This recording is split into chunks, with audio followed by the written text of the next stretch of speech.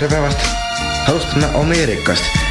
seal ilmunud em, suuseksi mm, suuseksi ohutust propageeriv ajakiri kirjeldab, eh, kuidas kasutada sõrmekondoome.